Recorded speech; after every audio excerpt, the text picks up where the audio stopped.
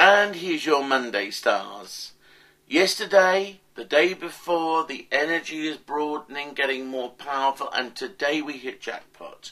Not just for today, but for the rest of the week. You need to act in a way, behave in a way, and do things in a way that you would normally find absolutely naughty, risque, radical, wild, crazy, bizarre. But I tell you now, the more you stand out, the more you stick out from the crowd, the less normal you are when it comes to the way you deal with people, the less formal you approach your life and others, the more people are going to just fall totally and utterly head over heels for you.